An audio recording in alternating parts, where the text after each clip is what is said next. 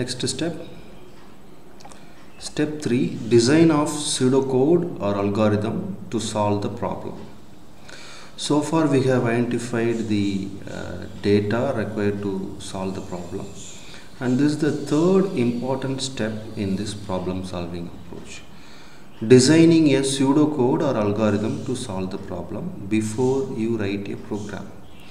Normally, when we see a problem, we start writing the program straight away. That is not the right approach.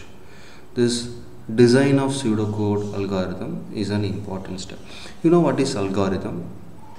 Algorithm or uh, English like statements that are used to express your uh, logical statements sequentially. And pseudocode, I am showing you one example. See, this is a pseudocode for a problem which is used to identify whether a number is greater than 10 or not. See, it has a begin statement that indicates the beginning of your logic. Input a number, then check whether the number is greater than 10. If it is true, then print something, else print something else, and then end the program. If you see this pseudocode, it resembles a code, but it is not the actual code. This is called pseudocode. Okay, pseudocode are much uh, easier to represent and it provides lot of information than algorithm. But for our problem converting miles into kilometer we will express in algorithm. So what is the first step in writing algorithm or pseudocode? Acquire the input. So this is the very important step in problem solving using programming. First is acquire the input. In our problem what is the input? So the input is miles. So you need to acquire the distance in miles. Second step is uh, processing or computing the data.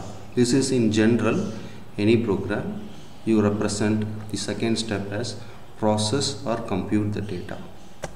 In our program we are going to convert this distance in miles into kilometer. That is what we are going to compute. So that is the second step in our algorithm. Third step generally we say it is providing the output. And here we have to provide the output as distance in kilometers. So this explains the algorithm for this problem. Generally algorithm involves three steps. Algorithm or pseudocode for that matter involves three steps. Acquire the input process or compute the data and then provide the output. Yes. Now step 4 after understanding the algorithm we need to implement this algorithm in some platform to solve the problem. This needs understanding of some programs.